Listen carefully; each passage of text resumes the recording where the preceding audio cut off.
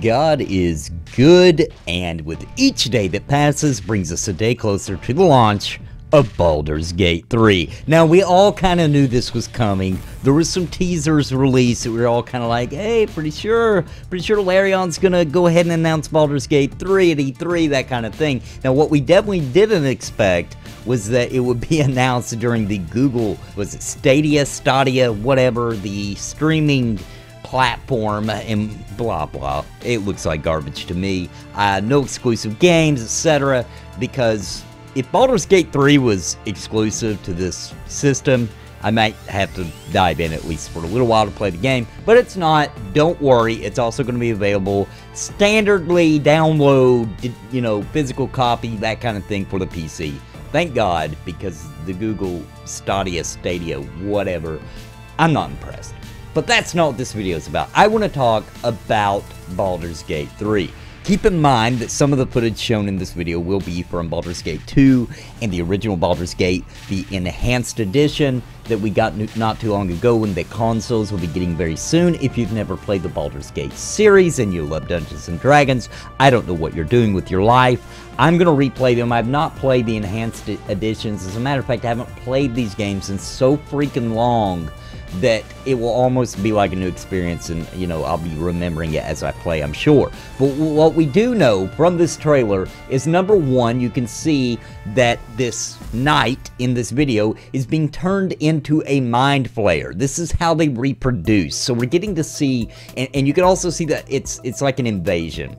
Because in the background at one point you can see their mode of travel through the universe, the tentacle thing up in the sky. You can also see that lots of other beings have been transformed into these mind flayers and that this looks like this is going to be what the story is about in the new Baldur's Gate game. It's been a ridiculously long time since we had a new Baldur's Gate. So long that up until here recently, I thought maybe they would never revisit it. But when they did the enhanced editions, I kind of felt like, are we gonna, are we gonna go back and do some, are we gonna have a new Baldur's Gate? And, and sure enough, here we are. Hopefully we get some gameplay footage as E3 continues on. That would be cool. Have no idea if that will happen or not. You can guarantee though, I'll be covering it if there's any, well, not if, but when there are updates to Baldur's 3. Now, we know this so far at least, they're talking about the game should be coming out in 2020. It'll be available for the Google Stadia, also PC, thank God.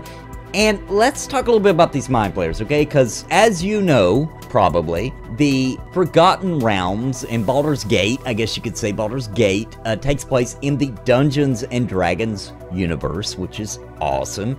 And so we can we can dig a little bit into Dungeons and Dragons mind Flayers and maybe get a little peek into what we're looking at. So real quick, I'm just going to talk about these awesome creatures called mind Flayers. They've made their way into lots of other fantasy realms, such as Final Fantasy has them, and yada yada yada. The the mind Flayers are like rulers of the mind. Okay, they're evil and sadistic. They're feared and they're capable of ridiculous psionic abilities, okay?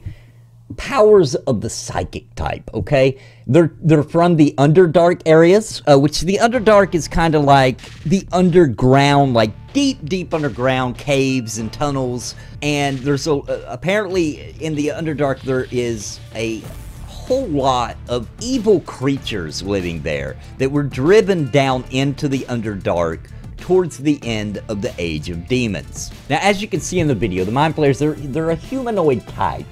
They kind of have the octopus look with the tentacles everywhere. They're actually considered amphibians. You can see, get a good shot of them at one point in this video of their feet, which are webbed. They're very sensitive to bright light. I would assume because they've been in the Underdark for so long.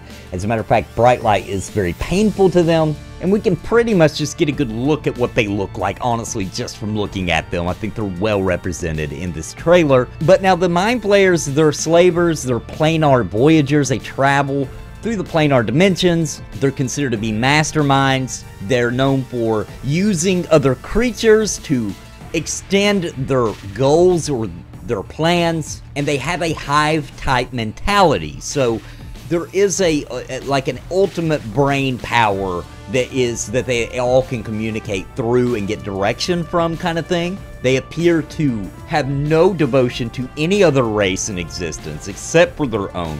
And it is said that the Mind Flayer mind only knows negative emotions. So the only kind of positive energy they could possibly feel would come from pride or maybe satisfying their curiosity through domination and destruction. They can do things like mind blast to stun foes and, and, and drag them off to feed on them. Now, once it feeds on a victim, it attaches tentacles and sucks out the brain. They have a very brain rich diet, okay? Uh, of course, sucking out a brain of a creature would kill it, and then they enslave this creature that they just sucked its brain out and keep them under control. And apparently, this is part of the reproduction and uh, in some in some fashion. And this person can be actually become a mind flayer. Now, we'll we do know that Baldur's Gate 3 will remain faithful to the D&D universe. Um, it will the Forgotten Realms and all that kind of thing. So we know that we can glean some of this information about the Mind Flayer now. We know for sure that looks like that's going to be the issue and the problem going on in the storyline for the game.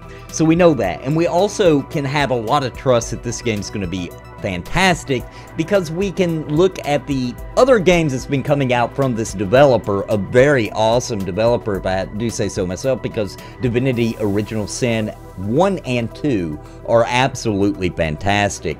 So we kind of we kind of already know how good these guys are. I don't know if they've ever made anything that actually sucked in my opinion. I don't think they have.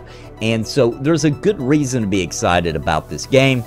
I wanted to make sure that you saw the trailer. I wanted to talk a little bit about the Mind Flayers and why I'm so excited to see them represented in the game. I can't wait to see what the actual game itself looks like. I'm hoping that it is somewhere in the realm of something like Divinity Original Sin 2. I'm hoping that that's kind of the graphic. You know, it doesn't have to be that style of graphic necessarily, but at least that quality because it has a very high quality, in my opinion, graphic engine and an excellent game. So we'll have more information soon. Hopefully there's a little bit more information released at E3 since they are talking about it's released in 2020. I think they should go ahead and show us some more, some gameplay. I understand they only showed us this teaser trailer mainly because this was just a, a small part of the Google announcement of their, their streaming platform kind of thing.